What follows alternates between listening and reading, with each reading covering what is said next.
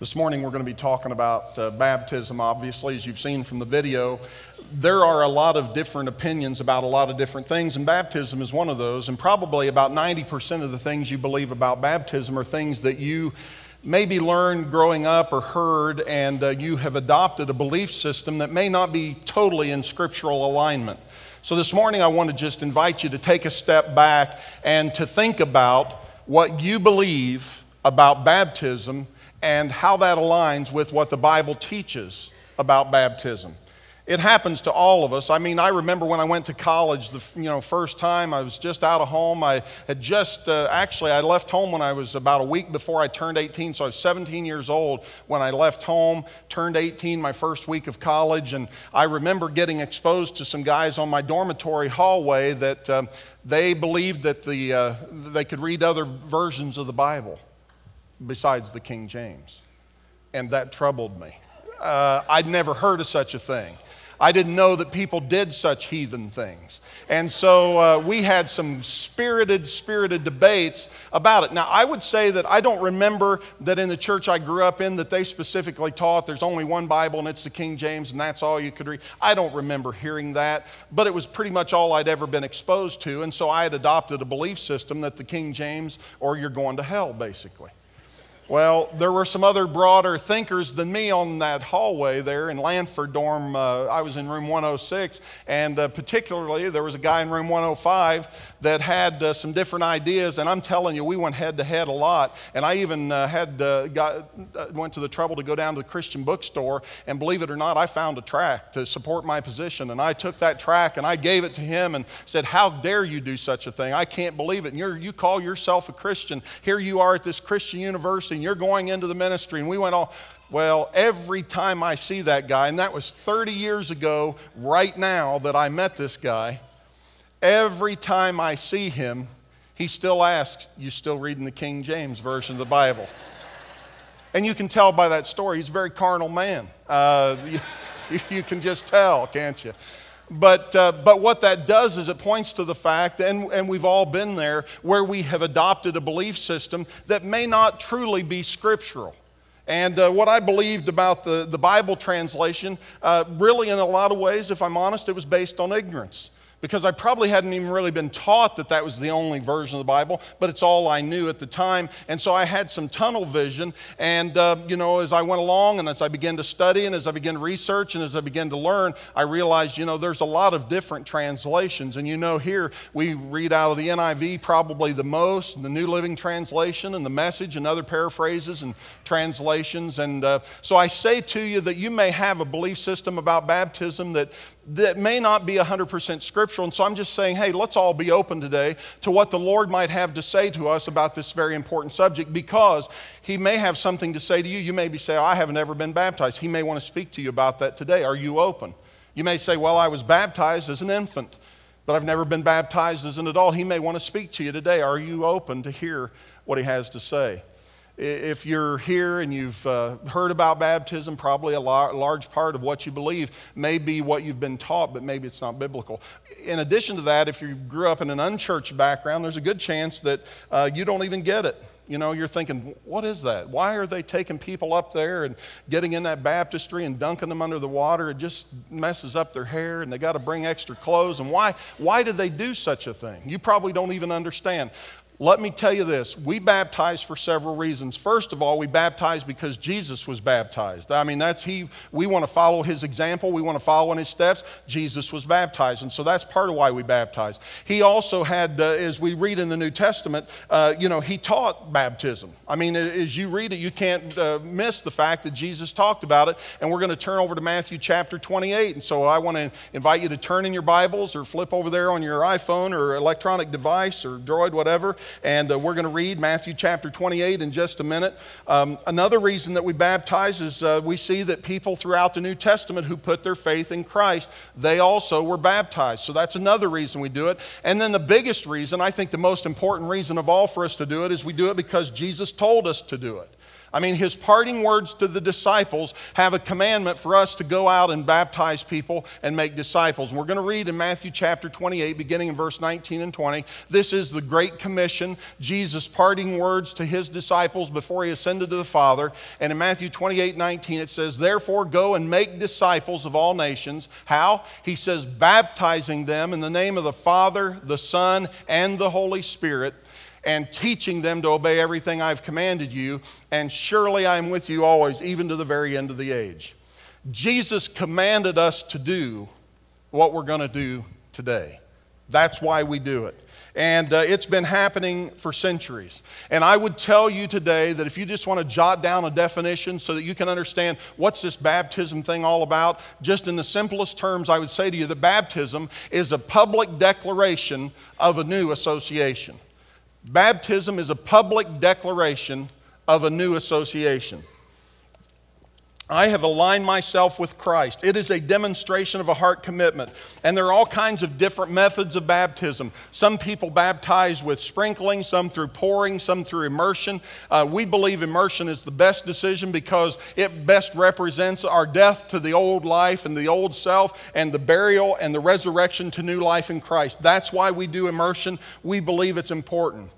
Baptism represents the washing away, and that is illustrated so greatly in immersion. It represents the washing away of, a, of an old association, the washing away of an old identity, the washing away of an old way of life. You're, you're putting away the things of the past and you're realizing that in Christ all things become new. And so baptism represents that uh, washing away. And, and just as we go under the water, it is all being washed away. That's why water baptism is so important. As we're resurrected up out of the water, as we're brought out of the water, we are then resurrected to new life in Christ. And it is a coming to life, symbolically identifying with a new association. That association, of course, being with Jesus A new identity and a new way of life. And so in baptism, we publicly identify with the person and the teachings of Jesus Christ. Unfortunately, and this is true with a lot of different issues when it comes to the Christian faith, baptism has been loaded down with a lot of baggage, not from the scripture, but from people and from the church, and uh, probably a lot of well intentioned folks along the way. Some have taught things like, well, you're not saved unless you're baptized. We don't believe that that's what the Bible teaches. Others indicate you have to be baptized in their church in order for it to count. Uh, people get hung up on everything from who does it to where you do it to how you do it to when you do it. And, uh, you know, I'll give you an example of one of the ways people get hung up, and there's this baggage with baptism, and that has to do with the issue of infant baptism. Uh, many churches teach and promote infant baptism, and this is a practice that has um, happened down uh, through many years, but I'm going to tell you right now, it has nothing to do with Scripture. You can read it forwards and backwards in the Old Testament and the New. There's no indication that infant baptism is a biblical practice. And uh, you can read it for yourself, it's not in there. And uh, yet, we realize some churches teach infant baptism. Our manual actually makes provision for us to do infant baptism. My question is who is the authority when it comes to baptism or any other subject? Who is the authority? Is it the church or is it the Bible? Is it the church or is it Scripture? We believe that Scripture is the foundation. It is the source of truth. It is the, the, uh, the authority on truth. It is the, the authority on baptism and any other subject. And so uh, we go to the Word of God to see what it has to say. And I would tell you that most who advocate infant baptism have concluded that infants uh, that are unbaptized go to hell because of original sin. Now, here's the problem with that. We believe in original sin. Original sin meaning that Adam and Eve, the fall in the Garden of Eden, they, they were, uh, you know, doing their thing and, and they committed the, the sin there in the garden, and that's representative of the fall of man. And because of that, we've been born into a fallen race, fallen human nature. That all started back there in the very beginning. And, uh, you know, so we believe in that, and, uh, but we also believe in God's prevenient grace. And because we serve a gracious and a merciful God, we cannot come to the place where we believe that an infant is condemned to hell before that infant has ever learned to speak. I have a hard time with that according to the, the, totality of Scripture. My question is if an unbaptized baby was condemned to hell, then why would Jesus say, Unless you become like a little child and come unto me, You know, you're never going to make it. He's the one that said, you, You've got to become like a child to enter the kingdom of heaven. And so uh, I, I, realize that that may be treading on thin ice for some and it may make you uncomfortable. And again, again, just want to point you back to the Word of God. Say, hey, if it's in there, show me. I can't find it. I, I would look for that and, and say, hey, it's not there. And I want to be clear on this, especially to those of you that were baptized as a baby. You were raised in a tradition maybe that was baptizing infants. Hear what I've got to say here. To be immersed, like we're going to do in this service, as an adult, it is not a slap in the face to your upbringing or to your religious heritage. Uh, you can be thankful for your past. I mean, if your parents had you baptized as an infant, I say praise the Lord because what that represented was they had a desire that you would know God. They wanted you to have a relationship with Him, they wanted you to know Him. That's what it was all about. Be thankful for that. But uh, you also need to realize that baptism, the way it's explained in the Bible, was always a personal and an individual decision. And I would encourage you to jot that down. It is always a personal and an individual decision. It's not something I can choose for somebody else. It's not something that somebody can choose for me. And um, I, um, I say this kindly but firmly, and I believe biblically, biblically. Infant baptism did not originate from the Bible with Jesus or the example of the apostles. It's not in there. That's why we dedicate babies around here. Mary and Joseph brought Jesus to the temple to dedicate him to the Lord. That's the example we choose to follow. And infant dedication is more of a parental dedication anyway. The baby's not making any part in that. The parents are saying, hey, I'm going to choose to raise this child to know and follow Christ. And, uh, and those of you that have a brand new baby, I would tell you, we love to dedicate babies around here where mom and dad say, hey, we're going to choose to follow Christ. We're going to put Christ first in our home. We're going to point this child to Christ. We're going to bring bring him to the church. We're going to teach him the Word of God. We're going to introduce him to Jesus as soon as he or she is old enough to understand that, that uh, you know, they need a Savior. That's what we do in dedication. And uh, the, the unfortunate thing, and I've seen this happen many, many times in talking to different people that were baptized as infants, it leads to a false security when it comes to your eternal salvation.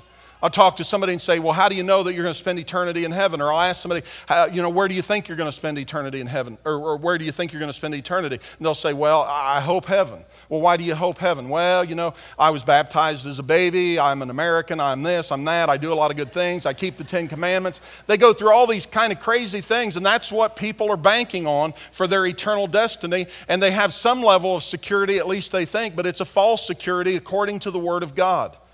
And so I want to encourage you to base your decisions on what the Bible has to say, not what I have to say or the Church of the Nazarene or any other denomination or group or whatever the case may be, um, because uh, we've got to see what the, what the Bible has to say. But, you know, if a person comes to the place from a you know, scriptural standpoint that they can understand that infant baptism, basing your security or of your salvation on that, it's a false security, then they can begin to process things on a little different manner. And if you get upset on that or have questions about that, I would encourage you to get a copy of this message, take it to whoever it is that taught you that, and ask them to see if they can respond to it from a biblical, and that's the key, from a biblical perspective, not from a denominational perspective or a local church perspective, but what does the Bible have to say? Because here's the key the Bible is our authority, not the church.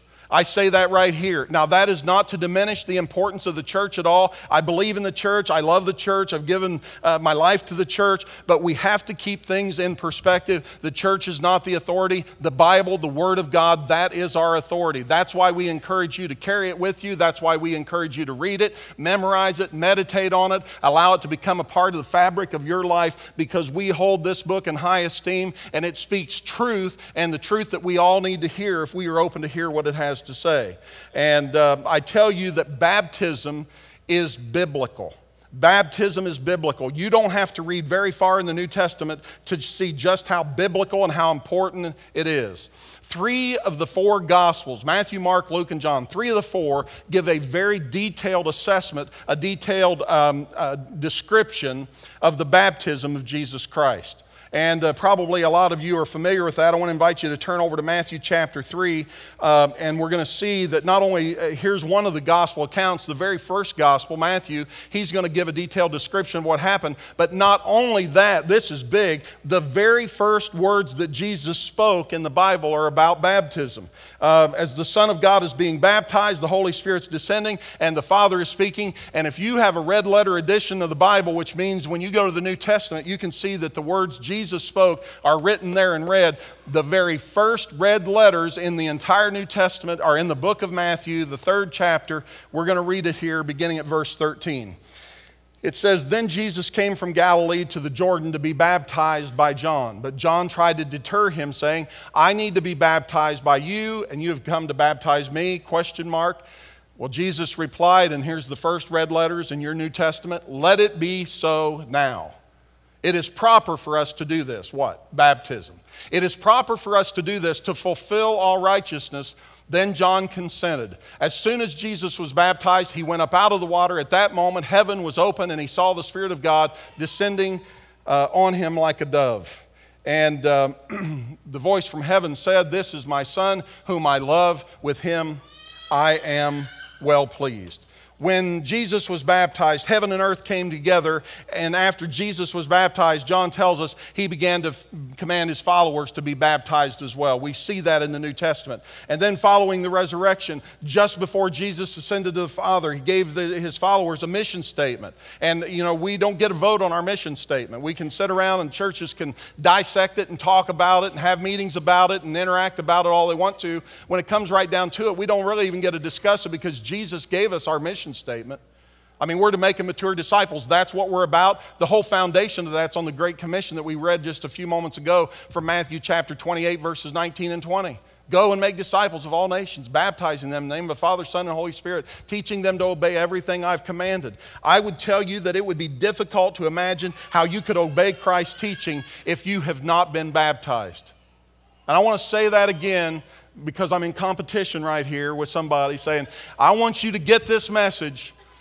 If you have not been baptized, if you're in a service just like this and you're, you're sitting there thinking, you know what, um, you know, I, I haven't been baptized, I'm not going to be, it would be difficult to imagine how you can obey Christ's teaching if you have not been baptized.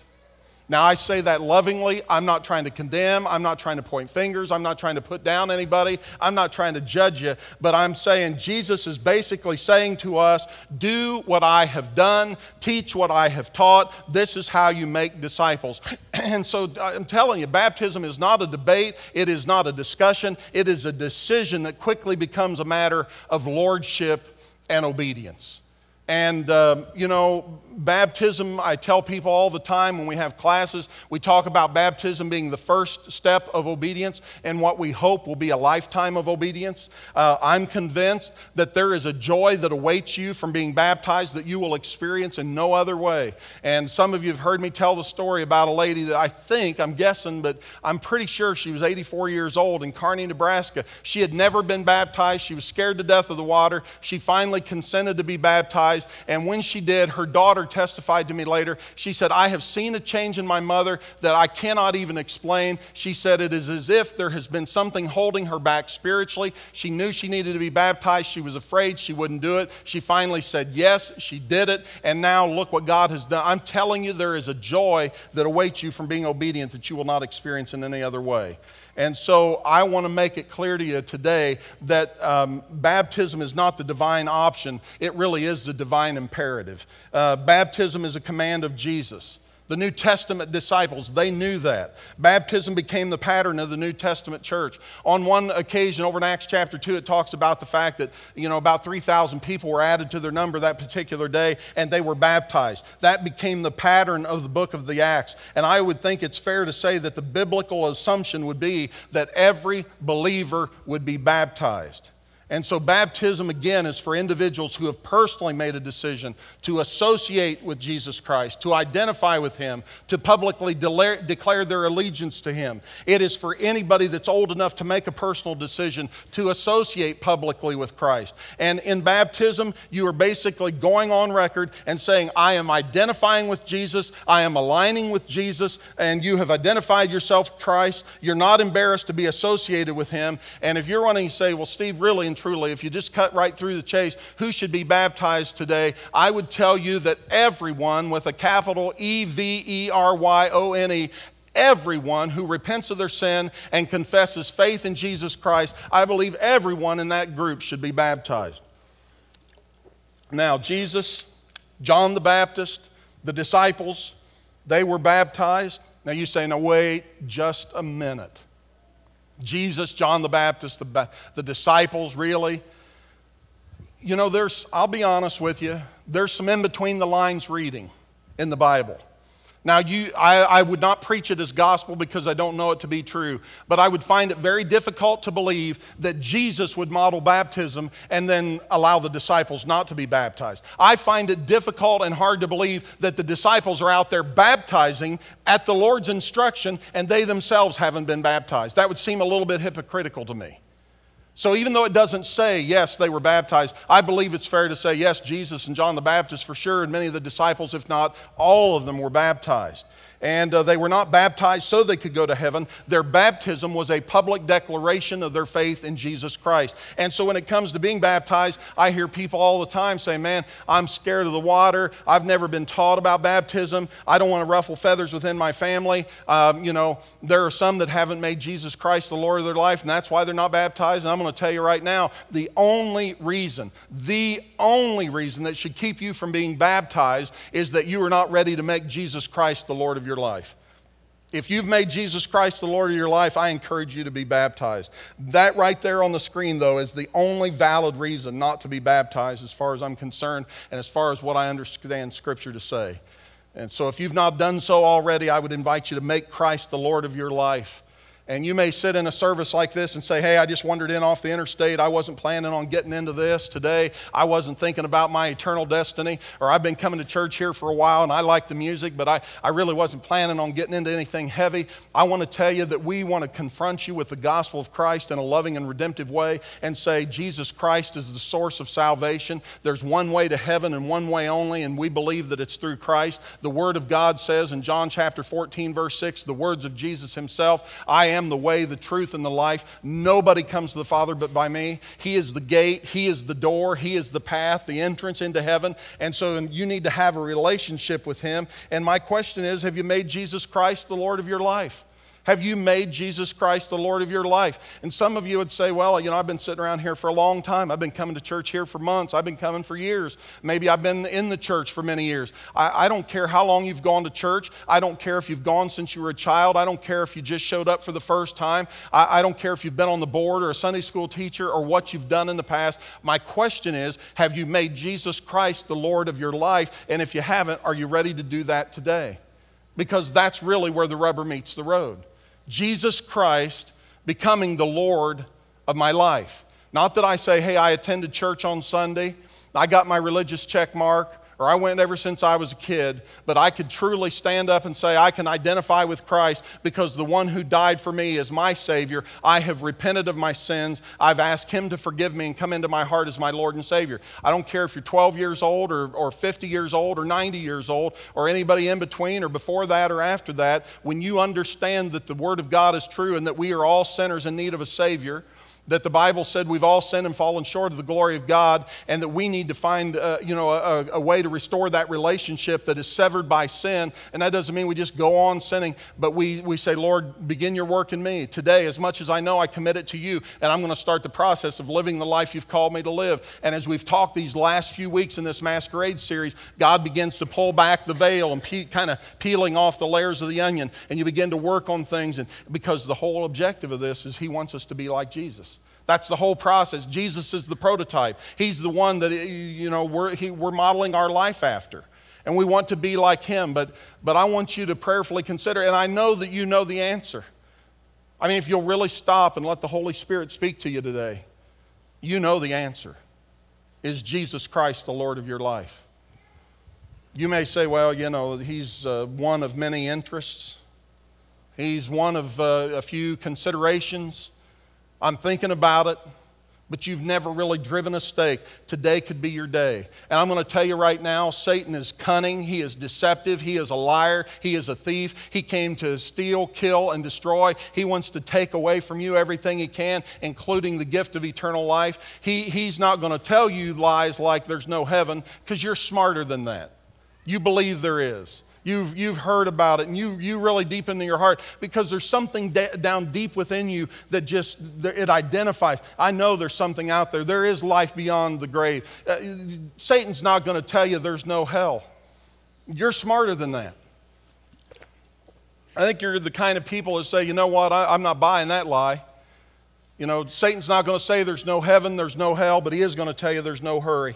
You can fool around here and, and wait, and, and you could be in a number of people just like we were there last night. What a tragedy, and I don't want to make light of that at all, but it points to the fact what happened on the Indiana State Fairgrounds yesterday. You have no assurance about what's going to happen to you 60 minutes from now, let alone 60 seconds from now an aneurysm and you blow a gasket and you're down and it's over. You have a massive heart attack, it's over. You get in a car accident, it happens all of the time. Buried a 20 some year old kid just the other day that was in a motorcycle accident over here on 135, just south of Nashville. Friends of our kids. It happens all the time. He's going to tell you, though, hey, no hurry. You got plenty of time. Well, just hold out, hold steady. Don't worry about it. I'm telling you today that there is a hurry because today is the day of salvation. That's what the Bible says. They tell us that Jesus walked about 60 miles to be immersed. I'm challenging some of you to walk a few steps and come up on this platform and do it today because uh, what we're going to do is we're going to make it easy for you. Uh, we're going to sing a song in just a couple of seconds, and when we do, um, I'm going to say back in room 109, I just felt like that there are going to be some people in a service like this that need to come and be baptized that didn't come planning to do it. Back in room 109, just right outside and to the right, the ushers can direct you. There are robes, baptismal robes, and there are towels. You can go in the bathroom, change. You can come right down the outside. You don't even have to walk through the sanctuary. Right outside this door. If it is raining, you're getting sprinkled, and then you'll come in and be immersed. It doesn't matter. you can get them, get both, and we'll even pour some on you before it's all over. But you come down that side, go to the second door. It's unlocked. The first door will be locked. It's that one. The second door is in that room. You come in there after this first song. We've got several that are prepared to be baptized. We will include you in this baptism in just a few moments because um, we believe that God is going to speak to some of you. And so the question is, does God want you? Does God want me to be baptized today? Well, the question is are you ready to follow the example of Christ and the teaching that He gave us in the New Testament? Uh, would you like to make a public declaration of your faith, of your association with Christ today? Uh, would you like to take a step of obedience? Are you ready to accept Christ maybe for the very first time? Or are you ready to recommit your life to Christ?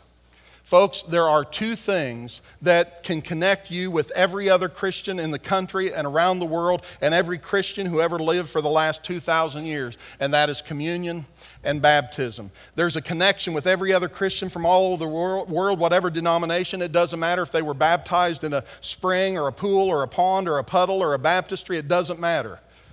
It connects you. And there's something amazing that happens in that water baptism as we step out and obey God in this very important and critical area. And I, I, hope God has helped you to see why it's such a big deal because you don't want to miss out on that. You don't want your kids to miss out on that. And the truth of the matter is, some of you came here today and you've got things to do later and whatever but some of you need to do it today. And you've got a knot in your throat, and your, your pulse is racing, and your palms are sweating. You're like, Lord, really? Really? Today? Really. He's calling you to step out and make him the Lord of your life. And uh, others, you may need to, you know, make a contact or two this week, get with some family and friends and, and talk about it or pray about it and come and see me and we'll get you scheduled. But some of you just need to do it today because if you wait and say, hey, I'm going to talk to some people and I want somebody to be here that's not here, hey, we'll get you a DVD. You can give them a DVD. We got you covered do whatever it is the Lord has spoken to you about. I've been praying that you will have the courage to follow through on what you know the Lord is saying to you today. Would you bow with me as we pray? Father, I pray that you would give every person in this room wisdom to know what to do with what they've heard. I believe you have spoken and are speaking. And so I pray as your spirit moves up and down the aisles of this church that men and women and teenagers and even boys and girls who understand what it means to be in need of a Savior, what it means to realize that it was my sin that put him on the cross, to realize that the blood price has to be paid for our sin and that we truly do need a Savior. I, I, pray that there would be some that would just say, Today, Lord, I hoist the white flag and say, I surrender. I'm not going to fight you anymore. I want a relationship. I want to respond to this love that you have shown to me, this unconditional love that I've found no place else. I have decided today is a new day. And so I want to publicly identify, I want to connect, I want to make you the Lord of my life. I want to, I want to go on record so that people will know that Jesus Christ is my Lord. And so, Father, if you're speaking especially to some that are seated here in this sanctuary that hadn't really intended to do it, I know they're sitting there thinking, now, what did he say? I really don't know. I'm not exactly sure. Just help them to do a very simple thing to get up and go get a robe, get a towel, and change clothes, and come down the side of the building and walk in. And when it's time, step into that water and break that old association, break that old identity break uh, that old lifestyle and die out to self and obey you and be resurrected to a new identity, a new association, a new lifestyle. In Jesus' name I pray. Amen.